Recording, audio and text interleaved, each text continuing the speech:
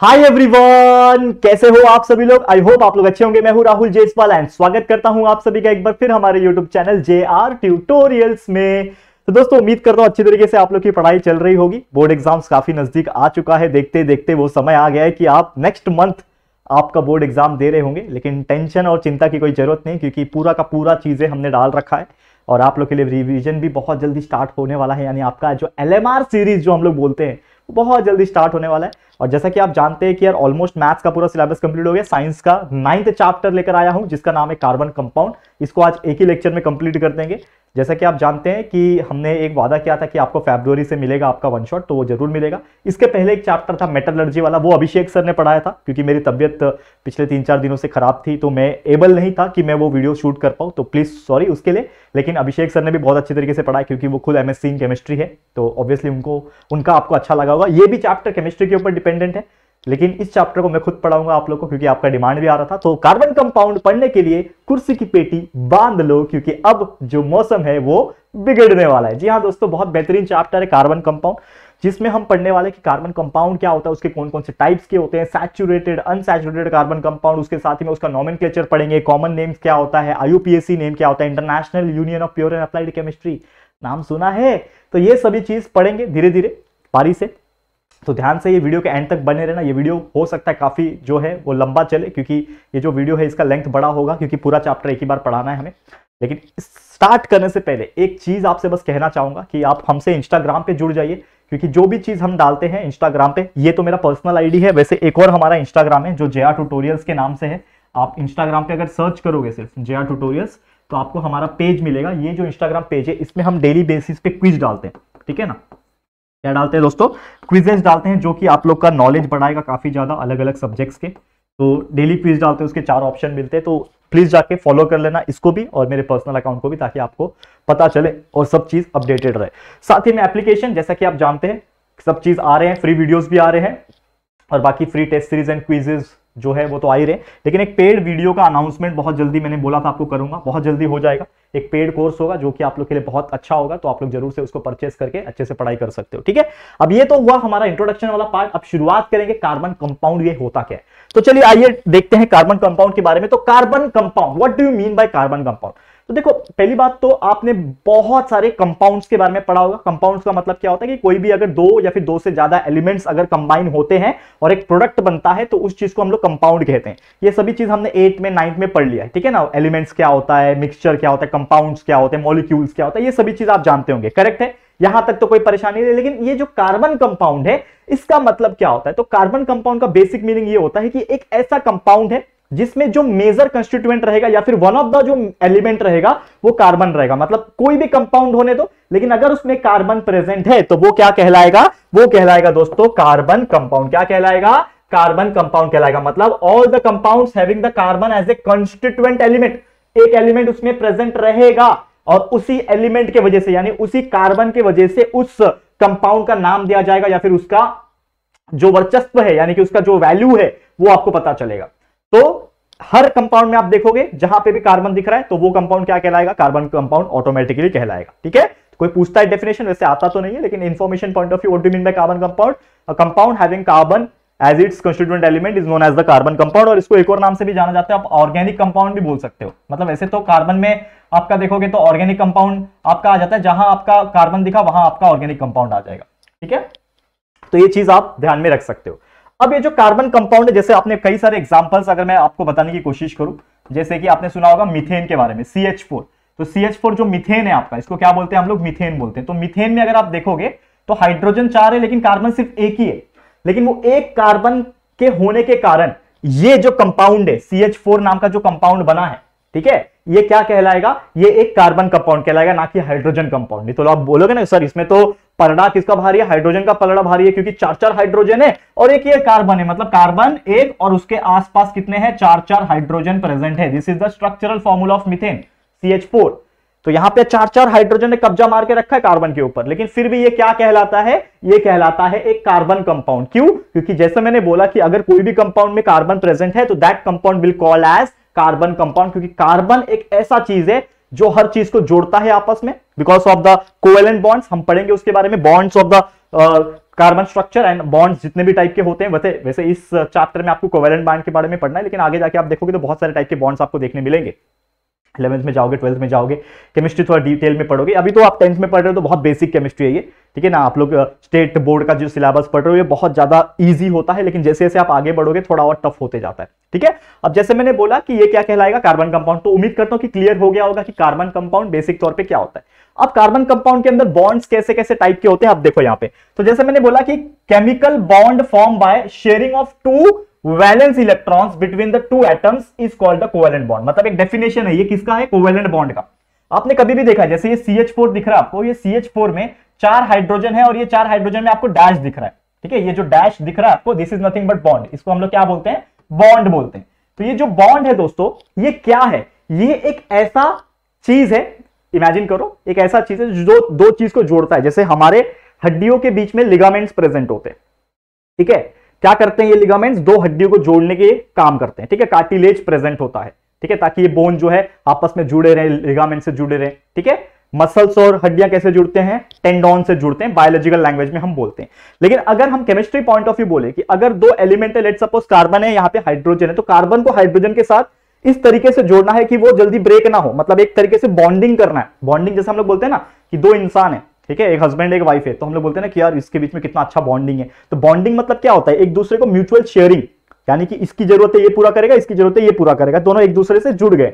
तो सेम उसी प्रकार यहाँ पे हाइड्रोजन एंड कार्बन एक दूसरे से जुड़ गए हैं because of the sharing of the valence electrons because of the sharing of the valence electrons तो यहाँ पे क्या बोल रहा है हमारा definition covalent bond it is a type of bond covalent bond होता है। ठीक है? ज़्यादातर केमिकल और इसमें आप देखोगे ऑर्गेनिक कंपाउंड में या फिर कार्बन कंपाउंड में आप देखोगे तो कोवेलेंट बॉन्ड ही होता है।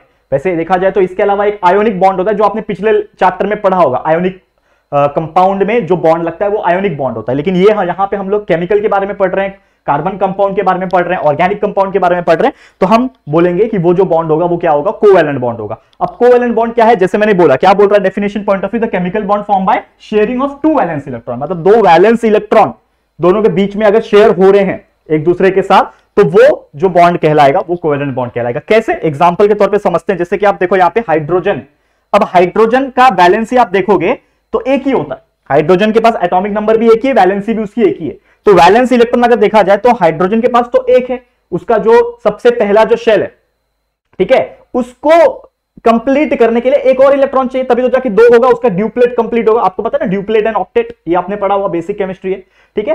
तो ड्यूप्लेट कंप्लीट करने के लिए उसको एक इलेक्ट्रॉन की ज़रूरत पड़ेगी। तो यानी ये वाले हाइड्रोजन को इसकी एक इलेक्ट्रॉन की ज़रूरत पड़ेगी और ये वाले को इसकी तो ये दोनों एक दूसरे के साथ जुड़ जाएँगे और क्या बना लेंगे? बॉन्ड तैयार कर लेंगे कि भैया तू मेरे को एक देते रहना, मैं तेरे को एक देते रहूँगा तो ये दोनों आपस में जुड़ गए। और यहाँ पे क्या बन गया? एक दूसरे के बीच में ये लोग ने क्या बना लिया है? आपस में बॉन्ड बना लिया है। इस प्रकार से ये जो दिख रहा है आपको, ये एक एटम इलेक्ट्रॉन इसका एक इलेक्ट्रॉन इसका तो दोनों साथ में हो गए। अब ये जो दोनों डैश है ना दोस्तों, ये मिलके क्या बना लेंगे? हाइड्रोजन का एक बॉन्ड बना लेंगे, जो कि आपको इस प्रकार दिख रहा है। That is H dash H और ये जो डैश दिख रहा है that is nothing but the covalent bond इसी को हम लोग बोलते हैं कोवेलेंट बॉन्ड मतलब इससे एक चीज़ क्या पता चला? इससे एक चीज़ पता चला कि दो वैलेंस इलेक्ट्रॉन्स जो होते हैं, जैसे इसके पास दो है ना, एक इसका हाइड्रोजन एक इसका हाइड्रोजन का। तो दो वैलेंस इलेक्ट्रॉन्स मिलके क्या बनाता है? एक सिंगल बॉन्ड बनाता है। वैसे चार अगर ऐसे आ जाएँगे तो क्या बनाएगा? डबल बॉन्ड बनाएगा। तो जैसे ऑक्सीजन होता है तो ऑक्सीजन में आप देखोगे तो ऑक्सीजन की जो वैलेंसी होती है, वो टू होती है। Two comma six is the electronic configuration. Eight atomic number होता है, टू कॉमा सिक्स तो दो इलेक्ट्रॉन चाहिए उसका ऑक्टेट कंप्लीट करने के लिए। तो दो इज़ द वैलेंस इलेक्ट्रॉन। तो इसके पास दो इलेक्ट्रॉन है, इसके पास दो इलेक्ट्रॉन है। तो एक दूसरे को दो इलेक्ट्रॉन देंगे मतलब इसके पास दो और इसके पास दो। मतलब टोटल कितने हुए? चार। और चार से कितने बॉन्ड बनेंगे? इससे एक बनेगा, इससे एक बनेगा, यानी डबल बॉन्ड बनेगा इसके लिए ऑक्सीजन और ऑक्सीजन के बीच में तो जो बॉन्ड होता है, वो डबल बॉन्ड होता है। करेक्ट है? समझ में आया कि ऑक्सीजन जो है, ठीक है? और दूसरे ऑक्सीजन के बीच में जो बॉन्ड होता है, वो डबल बॉन्ड होता है। इसीलिए यहाँ पे ओ डबल बॉन्ड ओ लिखा हुआ है। वैसे नाइट्रोजन के केस में, अब नाइट्रोजन का जो एटॉमिक नंबर होता है, वो सेवन होता है। इसके लिए इसका बैलेंस इलेक्ट्रॉनिक कंफिग्रेशन जो आएगा टू कॉमा कितना आएगा? सेवन मतलब टू कॉमा फाइव आएगा। मतलब ऑक्टेट कंप्लीट करने के लिए तीन चाहिए। तो तीन अगर चाहिए इसको, ध्यान से देखना, अगर इसको तीन चाहिए मतलब नाइट्रोजन के पास कितने हो जाएँगे? तीन। ठीक है? और इस नाइट्रोजन के पास कितने हो जाएँगे? तीन। तो ये एक, दो, तीन। तो इस तरीके से क्या बनाएगा? ये ट्रिपल बॉन्ड बनाएगा। तो इसके लिए नाइट्रोजन नाइट्रोजन जब आपस में जुड़ते हैं तो ट्रिपल बॉन्ड से जुड़ते हैं। ट्रिपल बॉन्ड क्या है? ये कोवेलेंट बॉन्ड ही है। Single bond double bond triple bond उसी प्रकार यहाँ पे ये क्या है? देखा हुआ स्ट्रक्चर है। This is nothing but the C H four methane तो यहाँ पे आप देखोगे एक कार्बन उसके बाजू में चार हाइड्रोजन तो एक, दो, तीन, चार तो ये चारों है। तो इसके लिए हम लोग बोल सकते हैं कि कार्बन के पास चार हाइड्रोजन है मतलब चार बॉन्ड बना रहा है। तो हम लोग क्या बोलेंगे इसको? टेट्रावैलेंट टेट्रावैलेंट क्यों? कार्बन की वैलेंसी पहली बात तो चार है। चार चाहिए कंप्लीट करने के लिए या फिर चार वो दे देगा डुप्लेट कंप्लीट करने के लिए। तो ऑब्वियसली इसके पास चार हाइड्रोजन सिंगल सिंगल के फॉर्म में जुड़ सकते हैं। तो ये सी बन रहा है, जो कि एक टेट्रावैलेंट कंपाउंड बनेगा। सी एच फोर मिथेन समझ में आ गया? तो किस प्रकार बॉन्डिंग होती है और किस प्रकार अलग अलग एलिमेंट्स में जो आपस में बॉन्डिंग करते हैं वो कैसे होती है और किस प्रकार दो वैलेंस इलेक्ट्रॉन से आप एक सिंगल बॉन्ड बना सकते हो मतलब बनता है, वो आपको मैंने बता दिया एक्सप्लेन कर दिया। करेक्ट है? सिंपल अच्छी तरीके से समझ में आ गया। तो ये था हमारा कार्बन कंपाउंड के बारे में चीज़ें। और साथ ही में उसके बॉन्ड्स के बारे में चीज़ें। ये आपको क्लियर हो गई होगी। तो आगे बढ़ते हैं नेक्स्ट टॉपिक पे जाते हैं। समझ में आ रहा है? तो आप लोग प्लीज़ कमेंट करके बताना कि आपको ये वीडियो यहाँ तक कैसा लग रहा है। अभी तो बहुत सारी चीज़ें पढ़नी है। आप पेशेंस रखोगे तो इतनी सारी चीज़ें पढ़ाऊँगा यार कि आपको मज़ा आ जाएगा और कार्बन कंपाउंड का पूरा कॉन्सेप्ट क्लियर हो जाएगा। क्योंकि जब आप इलेवंथ में जाओगे अभी टेंथ है आपका नेक्स्ट ईयर इलेवंथ में जाओगे तो आप केमिस्ट्री पढ़ने वाले होगी। अगर साइंस स्ट्रीम लेते हो तो, तो केमिस्ट्री तो बहुत मज़ेदार होता है लेकिन इसको थोड़ा समझना पड़ता है क्योंकि यार केमिकल है ना यार केमिस्ट्री है ना तो, तो उसका मज़ा कुछ और है। ठीक है? अब चलो बात कर लेंगे यहाँ पे कार्बन की। जैसे मैंने बोला कि कार्बन से ही कार्बन कंपाउंड बन रहा है, कार्बन अगर नहीं है किसी भी कंपाउंड में तो वो कार्बन कंपाउंड नहीं है। तो कार्बन एक वर्सटाइल एलिमेंट है। क्या है? एक वर्सटाइल एलिमेंट। क्यों कहा गया इसको वर्सटाइल एलिमेंट? क्योंकि ये एक ऐसा एलिमेंट है जो ज़्यादातर पाया जाता है कंपाउंड्स के बीच में एंड इसीलिए आप देखोगे कि कार्बन जो है वो हर जगह पाया जाता है। जैसे एग्जांपल के तौर पे बात करें कि दुनिया में जितने भी लिविंग थिंग प्रेजेंट है, ये सभी के सभी किससे बने हुए हैं? कार्बन से बने हुए हैं। किससे बने हुए हैं? कार्बन से। अगर आप देखोगे, इंसान का शरीर एक, जानवर का शरीर, एक प्लांट का शरीर अगर आप देखोगे तो majority of the living organisms जो हम लोग है, हम लोग किससे बने? हम लोग कार्बन से ही बने। तो आप बोलोगे, सर कार्बन से कैसे बने? तो मैं आपको एक चीज़ें बताती हूँ, बताता हूँ कि हमारे अंदर क्या बन रहा है? एनर्जी बन रहा है। हम क्या खाते हैं? कार्बोहाइड्रेट प्रोटीन फैट्स खाते हैं इन द फॉर्म ऑफ़ जो फ़ूड खा रहे खाना, दाल, चावल, जो भी चीज़ खा रहे उससे कार्बोहाइड्रेट प्रोटीन फैट्स तो कार्बोहाइड्रेट प्रोटीन फैट्स क्या है? कार्बन ठीक है ना? C H O C H O N मतलब उसमें कार्बोहाइड्रेट्स में भी अगर आप देखोगे तो कार्बन प्रेजेंट है। मतलब इसके अलावा और भी एलिमेंट्स है हाइड्रोजन है ऑक्सीजन भी है, लेकिन कार्बन है। तो आप देखोगे दुनिया में जितने भी जीवित चीज़ें हैं, अगर उसमें आप सर्च करोगे तो आपको एक एलिमेंट कार्बन मिलेगा। और अगर एक एलिमेंट कार्बन आपको दिख रहा है, इसका मतलब वो क्या है? वो एक कार्बन कंपाउंड है, और इसीलिए कार्बन एक वर्साटाइल एलिमेंट है। इट इज़ प्रेजेंट एवरीवेयर ठीक है? इट इज़ प्रेजेंट एवरीवेयर तो जितने भी मिलियंस ऑफ़ मॉलिक्यूल्स अगर आप देखोगे, जैसे एक छोटा सा छोटा molecule C H four methane जो होता है, उससे लेके डीएनए मॉलिक्यूल तक, हमारे शरीर में जेनेटिक इंफॉर्मेशन डीएनए के फॉर्म में डीऑक्सीराइबोन्यूक्लिक एसिड के फॉर्म में प्रेजेंट है। करेक्ट है? डीएनए के फॉर्म में प्रेजेंट है। अब ये जो मिथेन है ना भैया, ये मिथेन सी एच फोर होता है। और सी एच फोर से लेके जो डीएनए है, ये सभी के अंदर क्या प्रेजेंट है दोस्तों? कार्बन प्रेजेंट है। इसका मतलब ये कार्बन जो है, ये तो बहुत ही खतरनाक एलिमेंट हुआ। जहाँ जहाँ जाओगे, मुझे ही पाओगे। कार्बन तो ऐसा बोलता होगा ना, कितना प्राउड लगता होगा उसको। जहाँ जहाँ जाओगे, क्या क्या डायलॉग है मतलब हर जगह कार्बन प्रेजेंट है, ठीक है? तो इससे ये पता चलता है। साथ ही में कार्बन की एक बहुत अच्छी प्रॉपर्टी होती है, जिसका नाम है catenation it is the property by which they can form strong covalent bond and long chain बना सकते हैं। आपने ऐसा देखा होगा सी सिंगल बॉन्ड सी सी सी ये बॉन्ड जो होता है, ये जो बॉन्ड लॉन्ग चेन बनाते हैं, इसको बोलते हैं लॉन्ग चेन इसका डेफिनेशन भी पूछता है कैटिनेशन का that is the ability of the carbon to make a long form chain by a strong covalent bond it is known as the catenation इसका एक डेफिनेशन एक लाइन का पूछता है तो ज़रूर से डेफिनेशन पढ़ लेना। ये डेफिनेशन आता है कैटिनेशन का। इसको आईएमपी मार्क करके रख लो डेफिनेशन याद कर लेना आप लोग, ठीक है? तो कैटिनेशन की प्रॉपर्टी होती है कार्बन की, इसीलिए उससे वो क्या करता है? एक स्ट्रॉन्ग कोवेलेंट बॉन्ड बना पाता है और एक long form of carbon chain को क्रिएट कर सकता है, चाहे वो स्ट्रेट चेन हो, चाहे वो ब्रांचड हो, चाहे वो एक साइक्लिक या फिर रिंग स्ट्रक्चर हो तो वो बना पाता है। इसीलिए कार्बन के पास एक बहुत ही दिलचस्प प्रॉपर्टी है। कार्बन जो होता है, वो नॉर्मल तौर पर सिंगल भी हो सकता है मतलब सिंगल बॉन्ड भी बना सकता है डबल बॉन्ड भी बना सकता है ट्रिपल बॉन्ड भी बना सकता है। कुछ एग्जाम्पल्स हम समझने की कोशिश करते हैं। थोड़ा ध्यान देना बच्चे। अब कार्बन जो है, जैसे मैंने एक एग्जांपल लिखा हुआ इथेन तो इथेन का जो स्ट्रक्चर होता है, वो होता है दोस्तों C H three single bond C H three तो ये क्या है आपका सिंगल बॉन्ड है? आप देखो, यहाँ पे एक ही डैश है, यहाँ पे मतलब सिंगल बॉन्ड है। ये हो गया structural formula that is nothing but the ethane का। ठीक है? लेकिन अगर मुझे इसको डबल बॉन्ड बनाना तो मैं क्या बनाऊँगा? सी एच थ्री जैसे मैंने बोला कि अगर मेरे को एक बॉन्ड चाहिए तो एक बॉन्ड कितने वैलेंस इलेक्ट्रॉन से बनता है? दो। तो यहाँ पे अगर एक हाइड्रोजन और एक हाइड्रोजन कम कर दो, दोनों साइड से तो दो बैलेंस इलेक्ट्रॉन निकल गए मतलब हाइड्रोजन दो निकल गया मतलब बैलेंस इलेक्ट्रॉन ही है ना वो? तो दो बैलेंस इलेक्ट्रॉन निकल गया मतलब एक बॉन्ड बढ़ जाएगा मतलब दो हाइड्रोजन एटम से एक बॉन्ड जो है बनता है। तो इससे ये पता चला कि CH3 को अगर मैं CH2 कर दूँ और यहाँ पे भी सी एच थ्री को सी एच टू कर दूँ तो इससे क्या हो गया कि आपके दो दो यहाँ से एक हाइड्रोजन यहाँ से एक हाइड्रोजन गायब हो गए मतलब कम हो गए। अब वो कम हो गए तो कहीं पे तो कन्वर्ट होंगे तो वो जो कम हो गए, उससे आपका एक बॉन्ड बढ़ जाएगा। तो यहाँ पे एक्स्ट्रा बॉन्ड बन गया। तो ये बन गया CH2 CH2 इसका नाम क्या था? जैसे मैंने बोला, ये था आपका सिंगल बॉन्ड इथेन तो ये क्या कहलाएगा? डबल बॉन्ड है।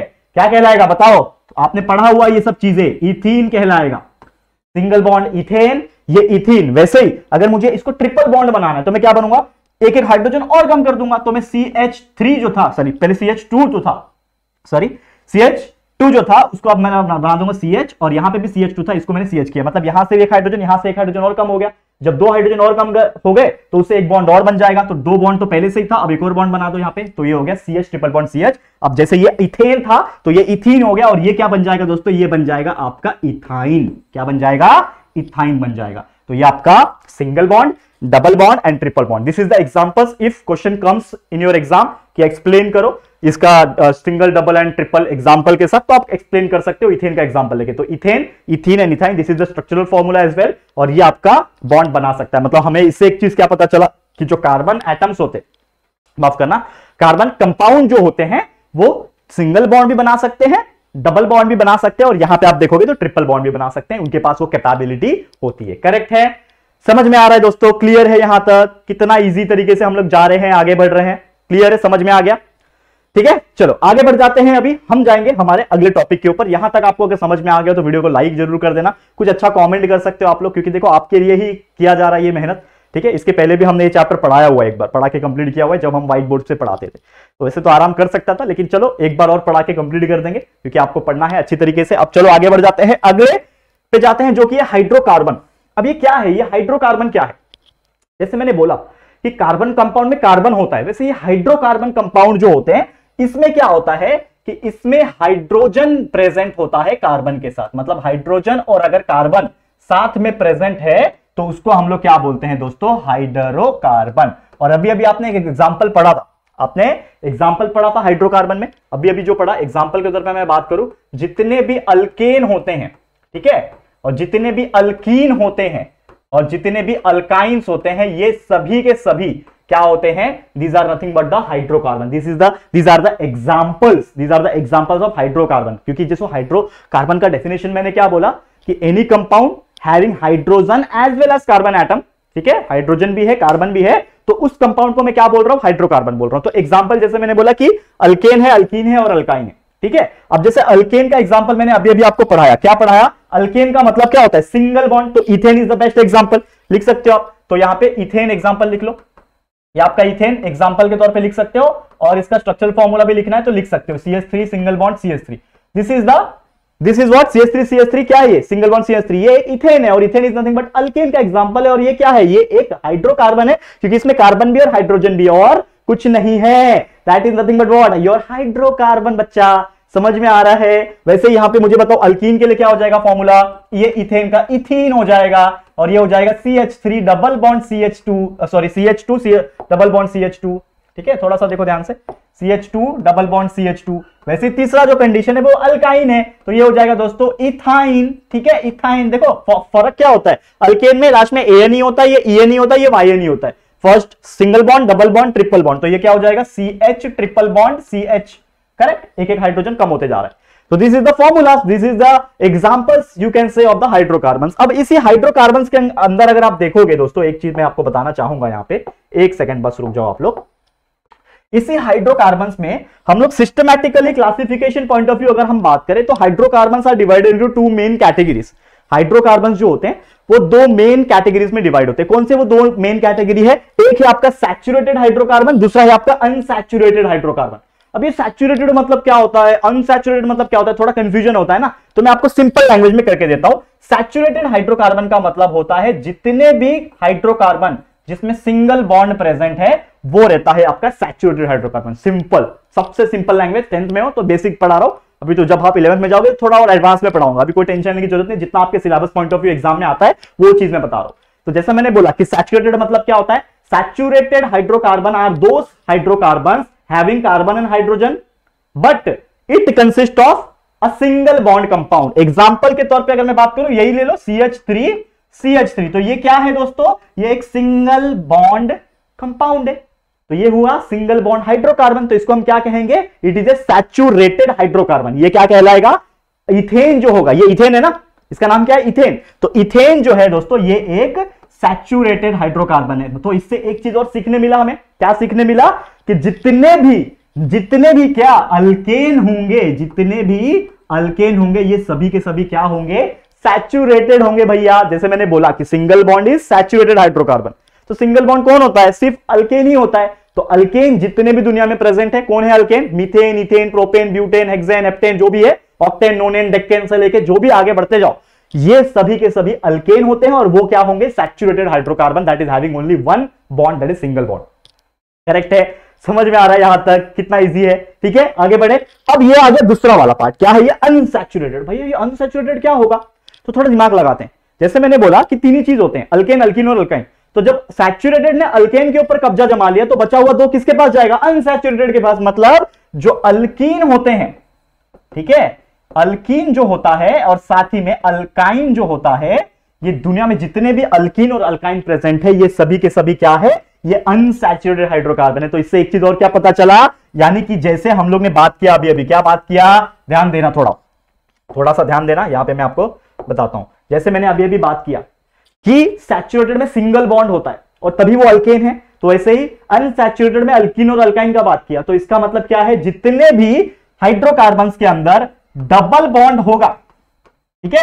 और साथ ही में ट्रिपल बॉन्ड होगा तो ये जो ये जो कंपाउंड्स होंगे, यानी ये जो हाइड्रोकार्बन होंगे having the hydrogen and carbon atoms which we called as unsaturated hydrocarbon तो एग्जांपल्स क्या लिखेंगे हम लोग? जैसे इथेन लिखा हमने सिंगल बॉन्ड वाला सैचुरेटेड के लिए, वैसे अनसैचुरेटेड के लिए C H two double bond C H two तो ये आपके लिए क्या है? ये आपका क्या है? इथीन। ये क्या नाम है इसका? इथीन नाम है। वैसे ही C H triple bond C H इसका नाम क्या है दोस्तों? इथाइन। तो ये दोनों क्या हो जाएँगे? वैसे तो कई सारे और चीज़ें, प्रोपीन है, प्रोपाइन है, ब्यूटीन है, ब्यूटाइन है, जो भी आप बढ़ाओ कार्बन तो चलेगा। तो ये इथीन हो गया या फिर इथाइन हो गया? ये दोनों क्या हो जाएँगे? ये एक अनसैचुरेटेड हाइड्रोकार्बन हो जाएँगे। क्यों? डबल बॉन्ड है ट्रिपल बॉन्ड है। तो कभी कभी क्लासिफिकेशन एग्ज़ाम में आ जाता है। आपको बहुत सारे कंपाउंड यानी हाइड्रोकार्बन दिए होते हैं, किसी में सिंगल बॉन्ड लगा होता है, किसी में डबल लगा होता है, किसी में ट्रिपल लगा होता है। ये सब लगा होता है करेक्ट है? अब ये जो बॉन्ड्स लगे होते हैं ना इसमें, ये आपको क्वेश्चन पूछा जाता है कि identify which is saturated and unsaturated hydrocarbon तो सबसे सिंपल तरीका मैंने बोला, क्या, कैसे? कि अगर एक डैश है, यानी एक सिंगल बॉन्ड लग रहा है इसमें तो वो हो जाएगा सैचुरेटेड हाइड्रोकार्बन अगर कहीं पे डबल बॉन्ड दिख रहा है, कहीं पे ट्रिपल बॉन्ड दिख रहा है तो समझ जाना कि वो अनसैचुरेटेड हाइड्रोकार्बन है। बस इतना ध्यान में रख लो, बहुत आपके मार्क्स अच्छे बन जाएँगे अगर क्वेश्चन इसमें से आते हैं तो।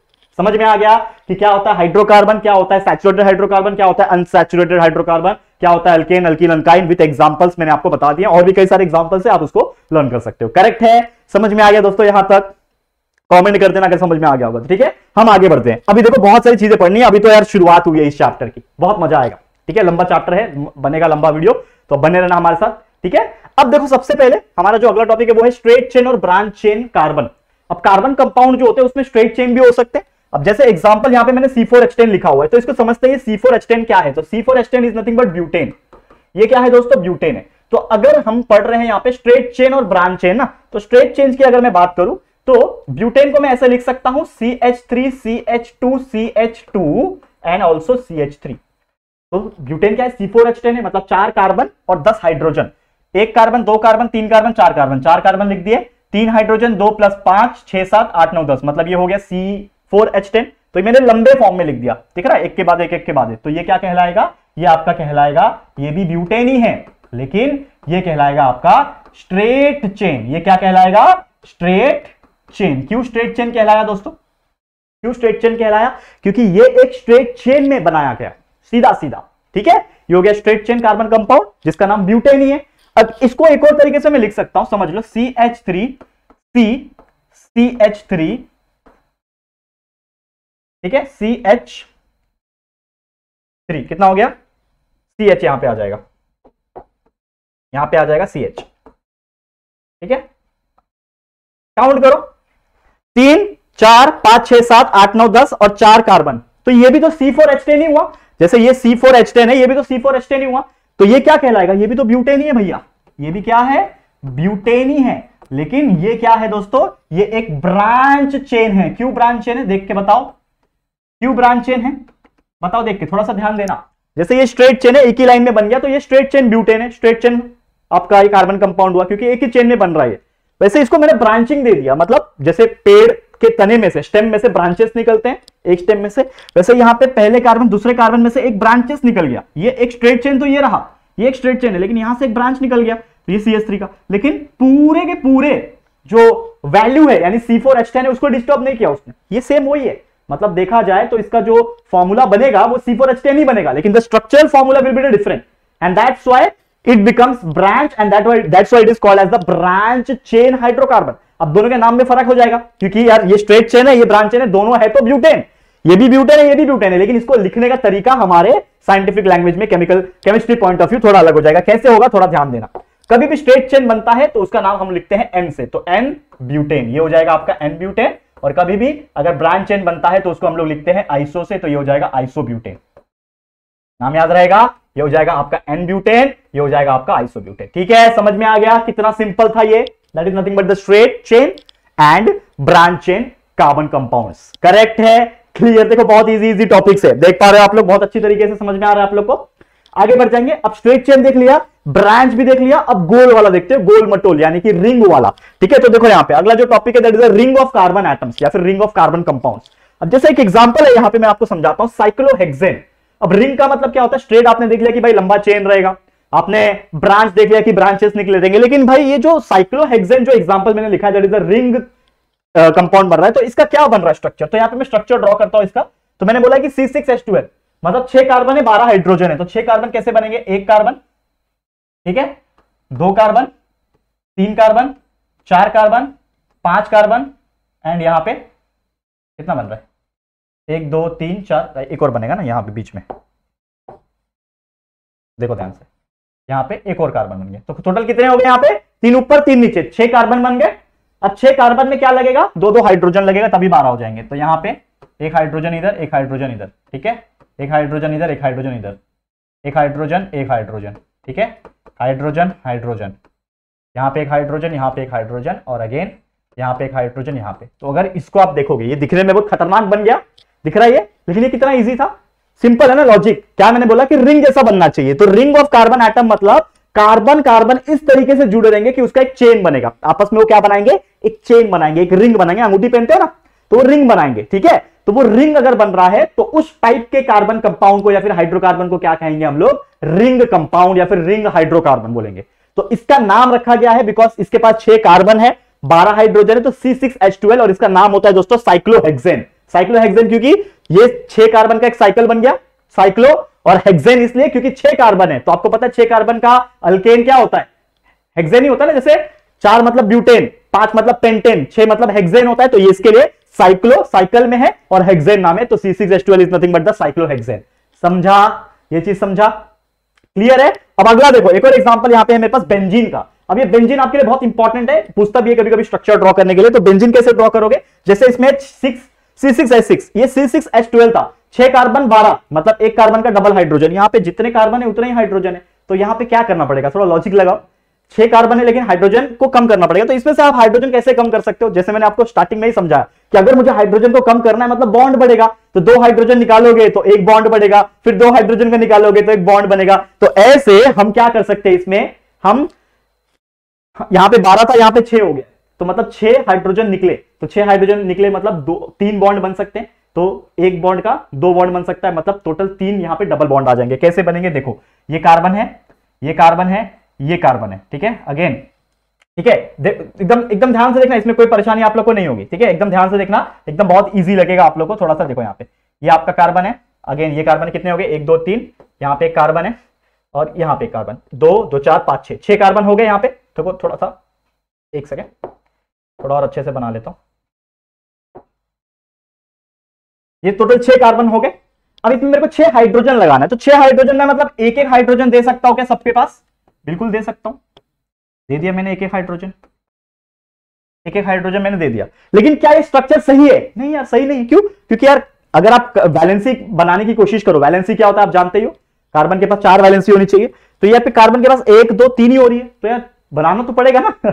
ठीक है, बनाना तो पड़ेगा। तो आप क्या करो, यहाँ पे जैसे मैंने बोला, क्योंकि आपने छह कार्बन, छह हाइड्रोजन को रिड्यूस किया है मतलब एक एक बॉन्ड बढ़ेगा। तो एक एक बॉन्ड तीन बॉन्ड बढ़ेगा खाली। तो एक बॉन्ड यहाँ बढ़ा दो अल्टरनेट में एक बॉन्ड यहाँ बढ़ा दो और एक बॉन्ड यहाँ बढ़ा दो। तो बन गए आपके सब, सबके पास चार वैलेंसी आ गई कार्बन की। देखो, यहाँ पे कार्बन के पास एक, दो, तीन, चार, यहाँ पे एक, दो, तीन, चार, यहाँ पे एक, दो, तीन, चार, यहाँ पे एक, दो, तीन, चार, यहाँ पे भी एक, दो, तीन, चार। तो सबके पास चार चार वैलेंसी आ गई मतलब ये जो स्ट्रक्चर बना, ये कंप्लीट स्ट्रक्चर बना है बैलेंस स्ट्रक्चर बना है और इसीलिए इसका नाम रखा गया है benzene C six H six जो कि एक साइक्लिक क्या है? डबल बॉन्ड स्ट्रक्चर है किसका? कार्बन कंपाउंड का। And that's why this is known as the ring compound जिसमें पहला एग्जांपल साइक्लोहेक्सेन था, दूसरा है बेंजीन का C6H6 वाला। तो ये इसको याद कर सकते हो, इसका एग्जांपल्स या फिर इसके स्ट्रक्चर्स एग्ज़ाम में पूछे जा सकते हैं। करेक्ट है? यहाँ तक समझ में आ गया? दो एग्जांपल बहुत बेहतरीन तरीके से पढ़ाते थोड़ा साइड हटता हूँ स्क्रीनशॉट ले सकते हो थोड़ा। ठीक है? ले लिया? ले लिया स्क्रीनशॉट आगे बढ़ते चलो। अगला क्या टॉपिक है? चलो देखते हैं। अगला टॉपिक क्या है हमारे पास? जो कि फंक्शनल ग्रुप ये one of the most important topic of this chapter functional group इसको समझना बहुत ज़्यादा इंपॉर्टेंट हो जाता है। क्यों? देखो ध्यान से समझ, समझना इसको। अब जैसे कि आप देखोगे अगर functional group in carbon compound अब कार्बन कंपाउंड में फंक्शनल ग्रुप क्या होता है? तो functional group is nothing but एक ऐसा ग्रुप है जिसका फ़ंक्शन बहुत ज़्यादा इंपॉर्टेंट है। अब कैसे इंपॉर्टेंट है? क्योंकि इसमें क्या होता है ना कि बहुत सारे हेट्रो एटम्स आ जाते हैं। जैसे कि ये जो नेम दिख रहा है आपको, यहाँ पे आपके बहुत सारे आ जाएँगे। जैसे कि हेलोजन का ग्रुप होता है। सबका एक अपना अपना ग्रुप होता है। जैसे आपने मॉडर्न पीरियोडिक टेबल अगर पढ़ा है तो हेलोजन का एक ग्रुप होता है मेटल्स का ग्रुप होता है नॉन मेटल्स का ग्रुप होता है। तो उसी प्रकार यहाँ पे ना बहुत सारे ग्रुप्स होते हैं, जिसको हम लोग फंक्शनल ग्रुप कहते हैं। तो ये फंक्शनल ग्रुप में कौन कौन होते हैं? हेलोजन ग्रुप होता है ऑक्सीजन ग्रुप होता है और एक नाइट्रोजन ग्रुप होता है। तो हेलोजन ग्रुप्स में आ जाते हैं आपके क्लोरीन ब्रोमीन और आयोडीन तो कभी भी कोई फंक्शनल ग्रुप अगर आता है, ठीक है? तो उसका जो हेलोजेंस होता है, उसका हम लोग नाम लिखते हैं halo H A L O क्या लिखते हैं? H A L O that is nothing but the halo halogen का जीईएन हटा दिया तो क्या बचा? हेलो बचा। तो वैसे क्लोरीन का क्या लिखोगे आप? हेलोजन का हेलो लिखा तो क्लोरीन का क्या लिखोगे? क्लोरो ठीक है? क्लोरो ठीक है? फिर ब्रोमीन का ब्रोमो और आयोडीन का आयोडो तो क्लोरो ब्रोमो आयोडो ठीक है? क्लोरीन का क्लोरो लिखा, ब्रोमीन का ब्रोमो लिखा, आयोडीन का आयोडो लिखा। उसी प्रकार उसका एक स्ट्रक्चरल फॉर्मूला भी बनेगा। तो हेलोजन के लिए हम लोग लिखते हैं एक्स याद रखना X is the symbolic formula और we can say structural formula X ठीक है? ये किसका होता है? हेलोजन ग्रुप का होता है, जिसमें क्लोरीन के लिए सीएल लिखेंगे डैश मार के बीआर के लिए बीआर ब्रोमीन के लिए बीआर और आयोडीन के लिए आई ठीक है?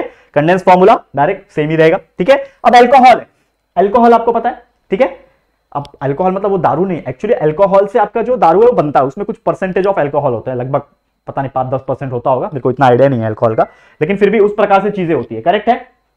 समझ में आ रहा है? तो ये बहुत ज़्यादा इंपॉर्टेंट हो जाता है।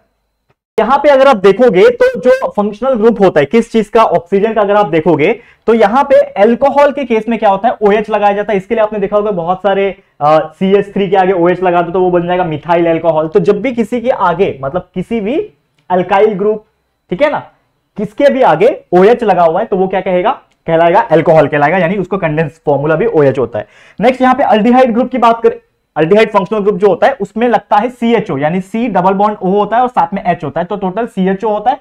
तो अगर किसी के आगे सीएचओ लगा या फिर C double bond O OH लगा हुआ है, ठीक है? That is nothing but your aldehyde फिर कीटोन होता है उसी प्रकार तो सी डबल बॉन्ड ओ और यहाँ पे भी आपका आर होता है, यहाँ पे भी आर हो सकता है। तो ये R is nothing but R represents the alkyl group तो इसके आगे अल्काइल लग सकता है इसके आगे अल्काइल लग सकता है। अल्काइल मतलब CH3, C2H5, C3H7 ठीक है ना? इस प्रकार से चीज़ें लगती है।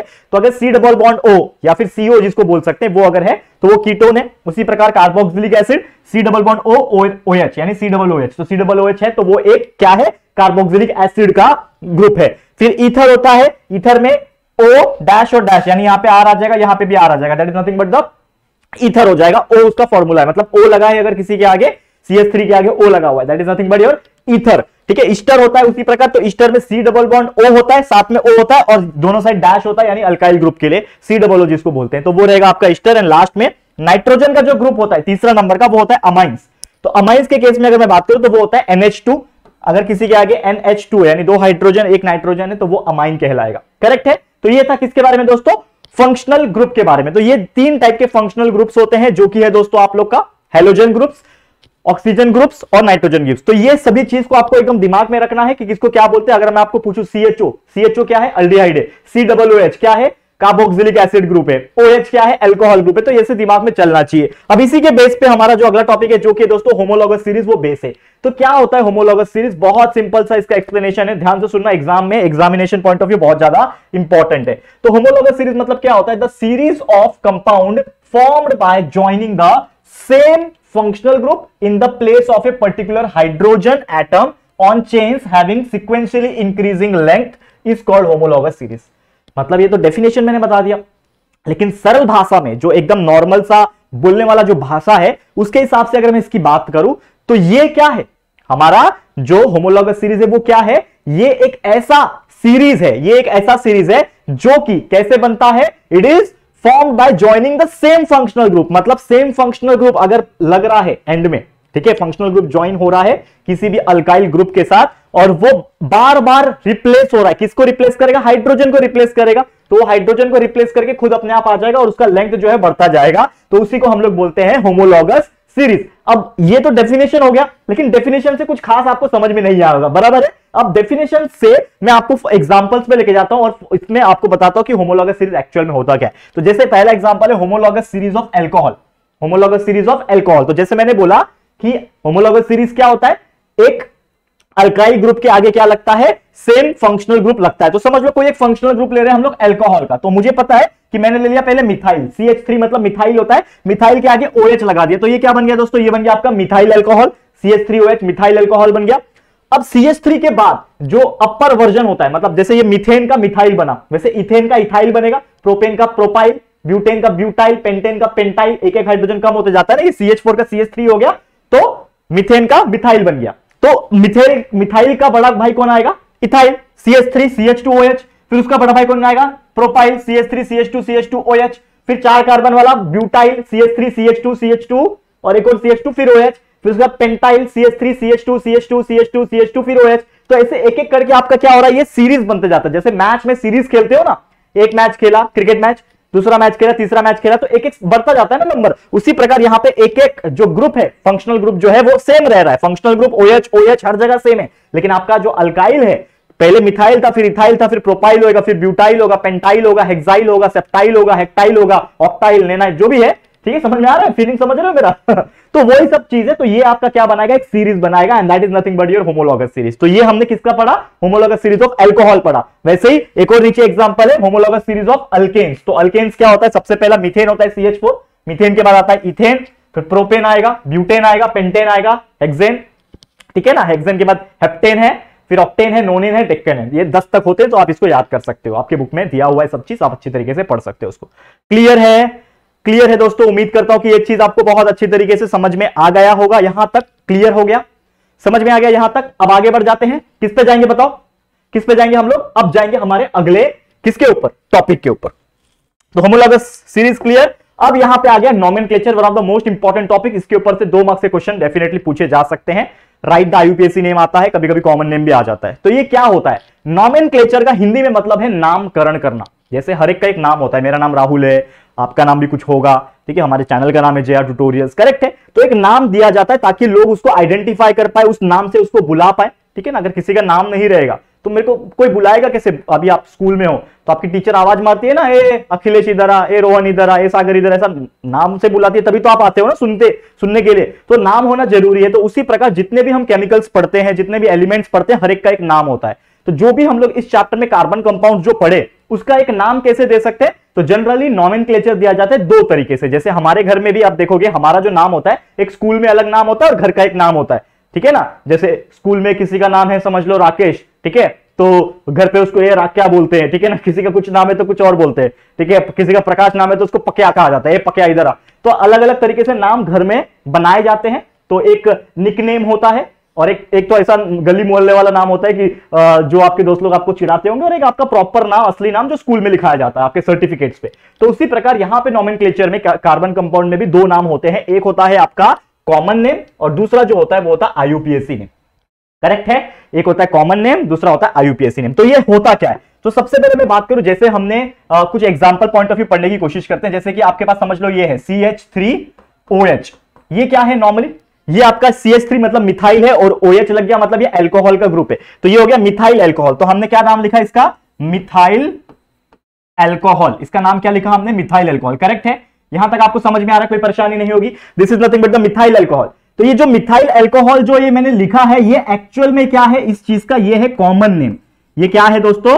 कॉमन नेम मतलब ये इसका कॉमन सा नाम है, जो हर जगह चल जाएगा। आप कहीं पे भी जाके मिथाइल अल्कोहल बोलोगे तो लोग को समझ में आएगा। लेकिन अभी वो मार्केट में नॉर्मली जाओगे तो ऐसा मत बोला मिथाइल अल्कोहल चाहिए। वो ऐसा नहीं मिलेगा। वो कोई प्रॉपर जगह जहाँ पे उनका नॉलेज हो। ठीक है, ये मिथाइल अल्कोहल क्या होता है? It is a type of alcohol जो जनरली क्लीनिंग पर्पज के लिए यूज़ किया जाता है केमिकल इंडस्ट्रीज़ में फैक्ट्रीज में। तो आप ऐसी जगह जाओगे जहाँ पे वो सब सामान मिलता रहेगा तो ही लोग मिथाइल अल्कोहल समझ पाओगे। नहीं तो नॉर्मली आप कोई सब्ज़ी मार्केट में जाके बोलोगे, मेरे को मिथाइल अल्कोहल दे दो। कोई देगा क्या? नहीं देगा। वैसे नमक होता है ना एनएसीएल सोडियम क्लोराइड कहा जाता है नमक को।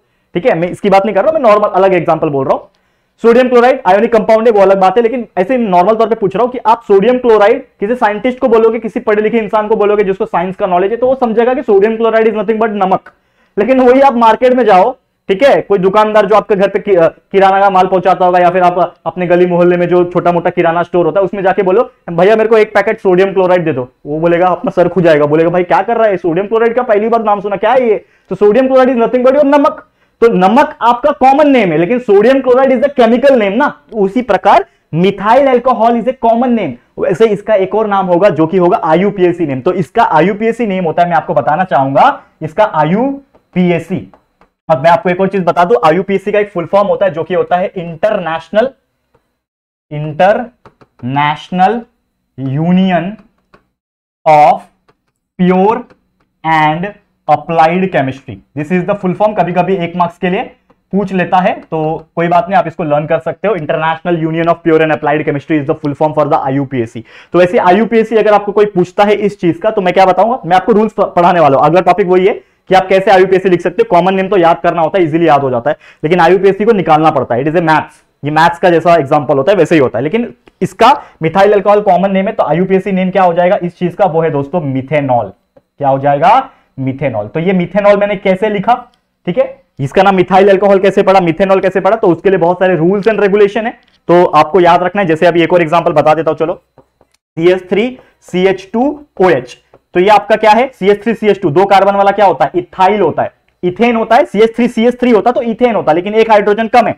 तो ये हो गया इथाइल ये क्या हो गया दोस्तों? ये इथाइल हो गया. OH लगा है मतलब ये क्या है? एल्कोहल तो ये बन गया इथाइल एल्कोहल ये मिथाइल एल्कोहल या इथाइल एल्कोहल वैसे एक और कार्बन डाल दूँगा CH3 CH2 CH2 कर दूँगा तो बन जाएगा प्रोपाइल एल्कोहल वैसे एक और कार्बन आ जाएगा, चार कार्बन वाले रहेंगे तो ब्यूटाइल एल्कोहल फिर पेंटाइल एल्कोहल तो ये कॉमन नेम निकालना बहुत ईजी होता है, लेकिन what about the IUPSC name इसके लिए रूल्स एंड रेगुलेशन बने हुए तो आइए जानते हैं इस चीज़ का रूल्स तो आईयूपीएससी के लिए क्या रूल्स है? कैसे आप इसको लर्न कर रख सकते हो? ये सभी चीज़ हम लोग इस वीडियो में बात करेंगे. एंड तक देखना, क्योंकि अभी तो रूल्स बताऊँगा फिर उसके बाद कुछ एग्जांपल्स भी बताऊँगा जो आपके एग्ज़ाम में भी आ सकते हैं और भी बचे कुछ दो तीन चीज़ें हैं, उसको पढ़ के फिर ये चैप्टर कंप्लीट करेंगे। तो बस बने रहो, ध्यान लगा के देखते रहो। तो सबसे पहले आईयूपीएससी के रूल्स की अगर मैं बात करूँ स्टेप नंबर वन क्या बोलता है? कोई भी अगर कोई क्वेश्चन आ रहा है, ठीक है ना, वो एग्ज़ाम्पल लेता हूँ, समझ लो। C H three C H two ये ओ एच है ये आपको ऐसा दिया रहेगा।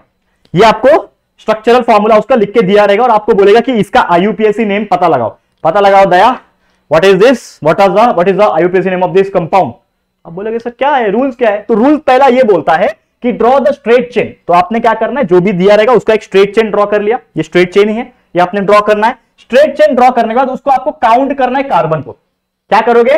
कार्बन को काउंट करोगे। तो कार्बन कैसे काउंट करोगे? यहाँ पे देखो, कितने कार्बन है? एक कार्बन दो कार्बन है। मतलब ये दो कार्बन का कंपाउंड है और मुझे पता है दो कार्बन का कंपाउंड का नाम क्या होता है? इथेन मिथेन एक कर, एक कंपाउंड मिथेन होता है दो कंपाउंड इथेन होता है तो ये क्या बन गया? इथेन। क्या बन गया ये? इथेन। लिख दिया इथेन। अब उसके बाद क्या करना है? राइट नेम ऑफ़ अल्केन मतलब जैसे मैंने बोला काउंट कार्बन किया काउंट कार्बन के बाद आपको लिखना है उसका नाम। तो सिंगल बॉन्ड है सब में तो ऑब्वियसली ये अल्केन कहलाएगा। तो इसके लिए हमने इथेन लिखा। वैसे अगर इसके बीच में कहीं पे डबल बॉन्ड होता तो हम इसको इथीन लिखते। क्या लिखते? डबल बॉन्ड होता तो अल्कीन लिखते। मतलब इथेन का इथीन बन जाता। वैसे अगर ट्रिपल बॉन्ड होता तो अल्काइन लिखना होता, यानी इथीन का इथाइन बन जाता। समझ में आ रहा है? तो अगर हमको देखना कितने बॉन्ड है। सिंगल बॉन्ड है तो ये अल्केन बनेगा। अल्केन यानी कि इथेन बन गया। दो कार्बन का इथेन होता है। तीन कार्बन होते तो प्रोपेन बनता। लेकिन अगर कहीं डबल बॉन्ड होता तो ये इथीन बन गया होता। या तो ट्रिपल बॉन्ड होता तो ये इथाइन बन गया होता। ये पहला बेसिक रूल समझा। अब, उसके बाद स्टेप नंबर टू में क्या करना होता है? For functional group replace last letter E by the condense name of functional group तो सबसे पहले चेक करना है कि फंक्शनल ग्रुप है क्या। तो यहाँ पे आप फंक्शनल ग्रुप देख सकते हो, ये OH है। ये मेरा फंक्शनल ग्रुप है, ये तो आपका अल्काइल ग्रुप है ना। ये आपका फंक्शनल ग्रुप है OH OH किसका होता है? एल्कोहल का होता है। मैंने आपको याद करवाया था थोड़ी देर पहले। OH मतलब एल्कोहल मतलब ये जो है एल्कोहल बनने वाला है। तो आपको क्या करना है? Replace the last letter E जो ई e लिखा हुआ है लास्ट लेटर उसको रिप्लेस करना है। मतलब उसको हटा देना है। तो आपने हटा दिया। ई e को मिटा दिया। अब उसके जगह पे क्या लिखना है आपको? फंक्शनल ग्रुप का कंडेंस नेम तो OH यानी कि जो एल्कोहल था उसका कंडेंस नेम क्या मैंने बोला था आपको लिखने के लिए?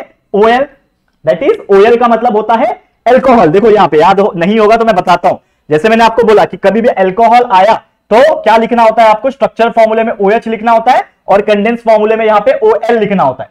ठीक है? एल्कोहल ठीक है? तो देखो यहाँ पे ध्यान से। ठीक है? तो कंडेंस फॉर्मूले आपको लिख देना है। ओएल अब ये क्या बन गया? एक्सेप्ट यहाँ पे एक और चीज़ है देखो रूल में एक और चीज़ लिखा एक्सेप्ट हेलोजन अगर हेलोजन होता मतलब सीएलवीएल होता यहाँ पे क्लोरीन वाला होता तो क्लोरीन वाला पहले लिखते हैं हम लोग तो उसके लिए आगे लिखना होता है क्लोरो समझ में आ रहा है? देखो मैं एक, एक चीज़ बताता हूँ वापस। एक और एग्जांपल लेके यहाँ पे समझाता हूँ। देखो थोड़ा सा ध्यान देना बच्चे। देखो हर चीज़ बताऊँगा टेंशन मत लेना। आपके राहुल सर है तो टेंशन लेने की ज़रूरत नहीं है। अब देखो यहाँ पे एक सेकेंड ठीक देखो समझ लो ऐसा होता C H three C H two और सी एल होता। मतलब यहाँ पे मैंने क्या किया सेम एग्जांपल लिया, लेकिन ओएच की जगह पे यहाँ पे सीएल लिखा हुआ है। तो इस केस में मैंने क्या लिखा था? इथेन लिखा था, फिर ई को मिटा के ओएल लिखा। मतलब एल्कोहल का कंडेंस ओएल होता है, वो लिख दिया। वैसे क्लोरीन है यहाँ पे। तो इसके लिए मेरे को क्या करना है? ये है तो इथेन ठीक है? ये है तो इथेन तो इस केस में क्या करना है? इसमें लिखा एक्सेप्ट हेलोजन तो हेलोजन जब भी रहेगा, ये सीएल मतलब क्लोरीन है हेलोजन का ग्रुप है। तो इसमें हम लोग को ये ई e को मिटा के क्लोरीन का क्लोरो जो है, वो ऐसा नहीं लिखना है। क्योंकि एक्सेप्ट बोला है ना तो हेलोजन में ऐसा नहीं लिखना है। तो आपको क्या करना है? इस केस में जैसा था, इथेन का इथेन वैसे ही रहने देना है। और उल्टा अगर कोई हेलोजन ग्रुप है तो उसका नाम क्या होता है? क्लोरीन का क्लोरो, ब्रोमीन का ब्रोमो, आयोडीन का आयोडो। तो उसको उसके आगे लिखना है, यानी प्रीफिक्स में लिखना है, सफिक्स में नहीं लिखना है। तो प्रीफिक्स में इथेन के आगे आ जाएगा। तो क्या है वो? क्लोरो। तो लिख दो यहाँ पे C H L O R O chloro. ठीक है? लिख दिया क्लोरो। हो गया क्लोरो इथेन ये बन गया इथेनॉल तो एक्चुअल में देखा जाए तो 90 परसेंट आईयूपीएससी नेम हमने निकाल दिया लेकिन एक सबसे इंपॉर्टेंट चीज़ होता है, जो कि होता है नंबरिंग करना, वो बहुत इंपॉर्टेंट होता है. तो नंबरिंग कैसा होता है? Number step number three step number three क्या बोलता है? Number the carbon atom from functional group and जहाँ पे फंक्शनल ग्रुप लगा हुआ है, वहाँ से नंबरिंग चालू करना है. जैसे कि ये फंक्शनल ग्रुप लगा है तो कार्बन का सबसे पहला नंबर इसका आएगा. नंबर वन ये नंबर टू वैसे यहाँ पे फंक्शनल ग्रुप ये है तो नंबर वन कार्बन ये है नंबर टू कार्बन ये है. अब जहाँ पे भी फंक्शनल ग्रुप अटैच हुआ है, उस नंबर का नाम लिख दो। जैसे ये है फ़र्स्ट नंबर पे फ़र्स्ट नंबर पे फ़र्स्ट कार्बन पे ओ OH लगा हुआ है, यानी फंक्शनल ग्रुप लगा हुआ है तो ये हो जाएगा इथेन और ये जो ओएल आपने जो लिखा, उसके बीच में एक डैश आ जाएगा, और वन लिखा है, और ओएल आ जाएगा। जो पहले इथेनॉल डायरेक्ट लिख दिया था मैंने, लेकिन वो ओएल कहाँ आया? फ़र्स्ट नंबर पे आया, इसके लिए बीच में मैंने वन डाला तो ये बन गया इथेन वन ऑल या फिर डायरेक्टली इथेनॉल भी लिखोगे तो भी चलता है, क्योंकि ये पहले पे ही है। बड़ा कार्बन नहीं है। लेकिन यहाँ पे भी आप देखोगे तो पहले ही कार्बन पे क्लोरीन अटैच है तो यहाँ पे आपको वन आगे लिखना है। One chloroethane. तो फ़र्क क्या है?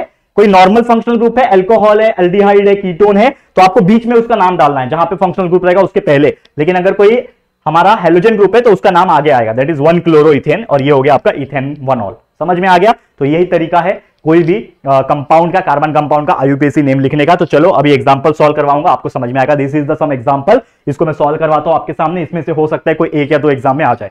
ठीक है? चलो सॉल्व करेंगे। चलो, सबसे पहले क्या है? सी एच थ्री इसका मुझे आईयूपीएससी नेम बताना है। क्या बताना है ये सभी का? आईयूपीएससी नेम पहली बात तो क्या करना होता है? सबसे पहला रूल क्या बोलता है? कि हम लोग को कार्बन गिनना है। स्ट्रेट चेन तो लिखा हुआ है आप कार्बन गिनो। एक कार्बन, दो कार्बन, तीन कार्बन। कितने कार्बन है? तीन कार्बन। तीन कार्बन का क्या होता है दोस्तों? प्रोपेन होता है। लिख दो प्रोपेन। ठीक है? उसके बाद सोचना होता है कौन सा फंक्शनल ग्रुप है। फंक्शनल ग्रुप कौन सा दिया हुआ है? ओएच यानी एल्कोहल है। और उसको लिखने के लिए हमें क्या करना होता है? लास्ट का ई e को मिटा के क्या लिखना होता है? ओएल लिख देना होता है। अब ये चेक करना होता है कि वो कौन से नंबर पे आता है। और नंबरिंग कैसे करना है? जहाँ पे फंक्शनल ग्रुप होता है, वहाँ से। तो ये नंबर वन ये नंबर टू ये नंबर थ्री तो नंबर वन पे आपका ओएच लगा हुआ है तो आपका क्या हो जाएगा? प्रोपेन बीच में वन आ गया ओएल ठीक है? थोड़ा सा और मिटा दो। ठीक है, ये क्या हो गया? प्रोपेन वन और ऑल ओ एल ऑल तो प्रोपेन वन ऑल ये एल है, ठीक है? Propane one ol is the IUPSC name of this compound समझ में आ गया? वैसे सेकंड देखो, जैसे मैंने बोला, सबसे पहले long chain straight chain select करो। स्ट्रेट चेन क्या है? ये वाला स्ट्रेट चेन है आपका। स्ट्रेट चेन ये है, ठीक है? तो इसमें कितने कार्बन है? एक, दो, तीन कार्बन है। मतलब इसका भी क्या आ जाएगा? प्रोपेन ठीक है? प्रोपेन हो गया।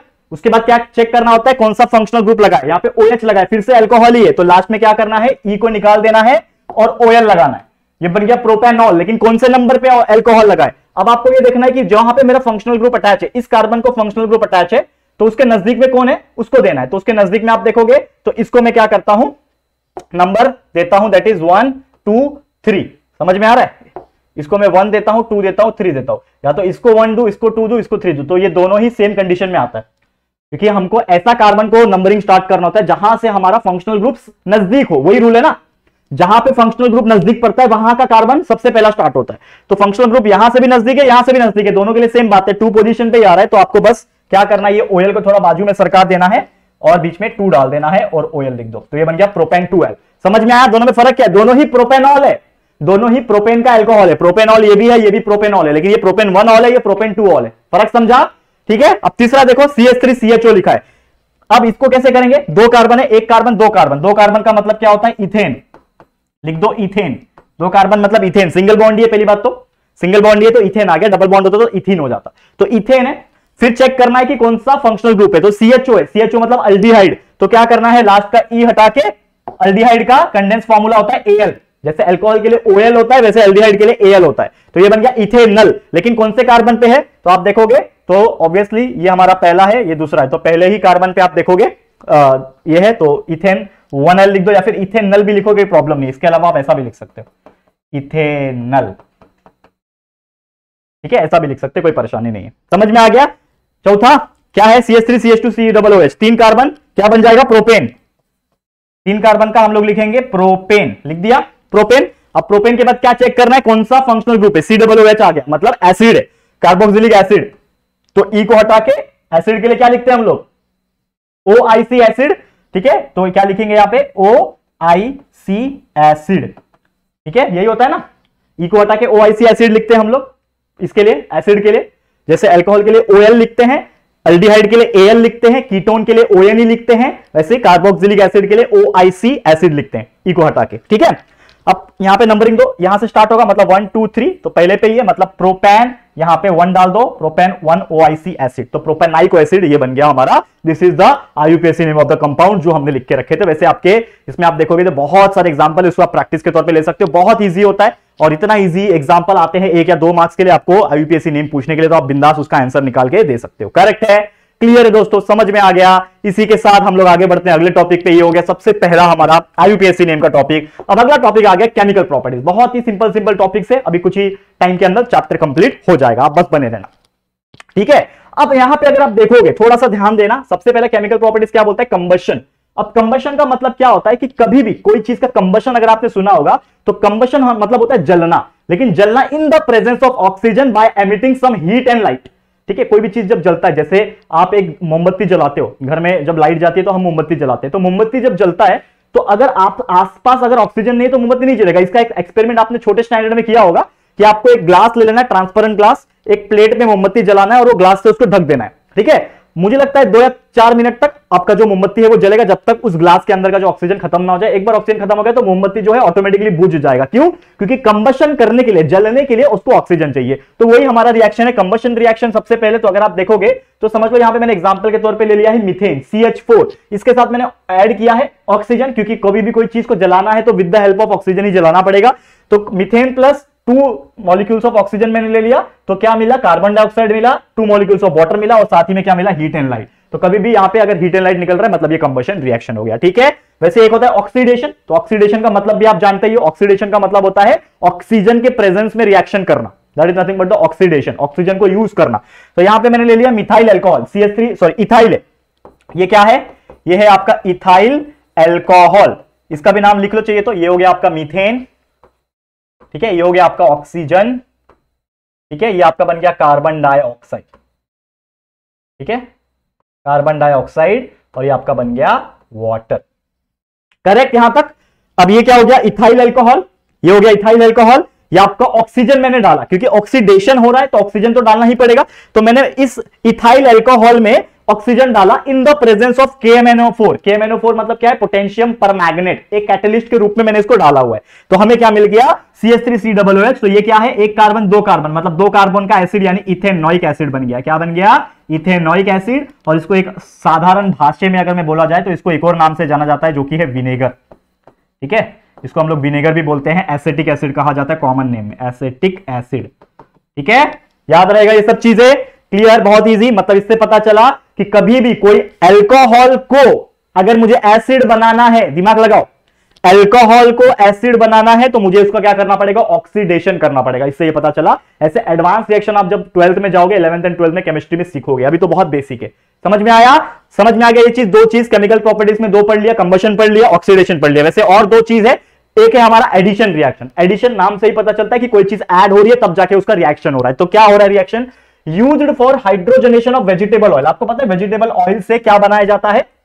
वेजिटेबल ऑयल से वनस्पति घी बनाया जाता है, डालडा वगैरह जो आप बोलते हो नॉर्मल तौर पे तो वो बनाया जाता है। तो इसके लिए जिम्मेदार है हमारा एडिशन रिएक्शन तो होता क्या है कि जो एडिशन रिएक्शन में क्या होता है कि जो वेजिटेबल ऑयल्स जो होते हैं, वो एक तरीके से अनसेचुरेटेड फॉर्मेट में होते हैं। अनसेचुरेटेड हाइड्रोकार्बन के फॉर्म में होते हैं। उसको जब हम लोग निकल कैटलिस्ट के साथ जब उसका रिएक्शन करते हैं, यानी एडिशन क्या कर रहे हैं हम लोग? यहाँ पे एडिशन रिएक्शन में क्या कर रहे हैं? निकल को ऐड कर रहे हैं। करेक्ट तो निकल एज ए कैटलिस्ट हम ऐड कर रहे हैं और उसका हाइड्रोजनेशन होने के बाद, क्या हो रहा है उसका? हाइड्रोजनेशन यानी कि H2 हाइड्रोजन इन्वॉल्व हो रहा है उस रिएक्शन में। तो यहाँ पे हाइड्रोजन प्लस निकल ऐड हो रहा है वेजिटेबल ऑयल के साथ। तो वेजिटेबल ऑयल आपका कन्वर्ट किसमें हो गया? वनस्पति घी में। तो ये भी बहुत इंपॉर्टेंट रिएक्शन है, हो सकता है आ जाए तो इसको अच्छी तरीके से प्रैक्टिस कर लेना, ठीक है? अब लास्ट है यहाँ पे सब्सटीट्यूशन रिएक्शन सब्सटीट्यूशन का मतलब जानते हो? सब्सटीट्यूट का मतलब होता है एक से दूसरे को सब्सटीट्यूट करना। जैसे पहला रैंकर कोई है फिर पता चला अगले एग्ज़ाम में कोई और फ़र्स्ट रैंक मार लिया। तो ये हो गया सब्सटीट्यूशन तो वैसे यहाँ पे मीथेन को क्लोरीन के साथ रिएक्शन किया in the presence of sunlight sunlight में मैं क्या करूँगा? रिएक्शन कर रहा हूँ। तो मीथेन प्लस क्लोरीन सनलाइट में रिएक्शन हो गया तो ये बन गया मिथाइल क्लोराइड ठीक है? ठीक है? मिथाइल क्लोरीन बन गया और हाइड्रोक्लोरिक एसिड HCl बाहर निकल गया। फिर आपका ये जो मिथाइल क्लोरीन जो बना यहाँ पे मिथाइल क्लोरीन जो बना है, उसको वापस से क्लोरीन के साथ रिएक्शन किया इन द प्रेजेंस ऑफ़ फिर से सनलाइट ठीक है, फिर से सनलाइट में मैंने रिएक्शन किया तो बन गया CH2 Cl2 और HCl वापस से निकल गया। तो इस प्रकार से आप करते जाओगे तो आपका जो रिएक्शन है वो सब्सटीट्यूट होते जाएगा। सब्सटीट्यूट का मतलब यहाँ पे क्या हो रहा है? यहाँ पे पहले CH4 था, अब यहाँ से एक हाइड्रोजन निकल के इसके पास आ रहा है और एक क्लोरीन उठा ले रहा है और अलग से HCl बना रहा है। तो क्या कर रहा है वो? एच निकल के किसी और के पास चला गया तो सब्सटीट्यूट हो रहा है। यहाँ पे भी आप देखोगे CH3Cl था। ठीक है? एक एच निकल गया तो ये CH2 Cl2 बन गया और एक एच निकल के इस सीएल के पास चला गया तो उसने एच सी एल बना लिया। मतलब सब्सटीट्यूट अपने आप को कर रहा है बार बार और जिस तरीके से वो कर रहा है और उसी रिएक्शन को हो रहा है तो वो रिएक्शन को हम लोग कहेंगे सब्सटीट्यूशन रिएक्शन करेक्ट है? समझ में आ गया? समझ में आ गया दोस्तों? आगे बढ़ जाते हैं, जो कि हमारा एक लास्ट टॉपिक होगा। जो कि ये दोस्तों इंपॉर्टेंट है कार्बन कंपाउंड अब जैसे कि आप जानते हैं कि कार्बन कंपाउंड उसमें कई सारे इंपॉर्टेंट है, जैसे इथेनॉल हो गया तो इसका बारे में आ सकता है, आपको यूजेस आ सकता है। ये देखो, मैं पढ़ा नहीं रहा हूँ आपको मैं बता रहा हूँ। तो आपको क्या क्या करना है अपनी तरफ़ से भी इस चैप्टर में। इथेनॉल क्या होता है कहाँ कहाँ यूज़ होता है, उसके छोटे मोटे जो रिएक्शन है, उसको आप क्या कर लोगे, अच्छी तरीके से प्रैक्टिस कर लोगे। तो ये आ सकता है। सेम उसी प्रकार इथेनॉल से ही हम लोग इथेनॉलिक एसिड बना सकते हैं। अभी अभी हमने देखा भी ना। अभी अभी हमने देखा इथेनॉलिक एसिड ठीक है, यहाँ पे देखो। ये जो रिएक्शन था इथेनॉल से। ये इथेनॉल है ना? इथाइल अल्कोहल मतलब क्या है दोस्तों? इथेनॉल ही तो है। यूपीएससी ने उसका इथेनॉल है तो इथेनॉल से हमने क्या बनाया? इथेनॉलिक एसिड बनाया। तो इस प्रकार का रिएक्शन आपको लर्न करके रखना पड़ेगा।